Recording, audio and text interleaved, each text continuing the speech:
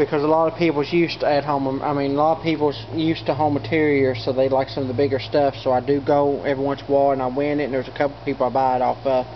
This is a flower. I can't remember what it is. I can't even remember where I got it. This is uh, it's home material. These are home material too. Now at home has some like them, I think, but I'm pretty sure these could be at home America though because. Um, the woman I won them off of, she does have some at home America stuff. I won them at bingo the other night. This is uh, home material that uh, the boots with the cowboy hat and stuff, and this basket here, it's, it's all home material. That basket, I mean, this thing is, this is at home America. These I can't remember what they are either. Now these are home material, and these are home material. Uh, I used to have a set of these, and when I got divorced, my ex-wife took them, but I won these the other day at bingo.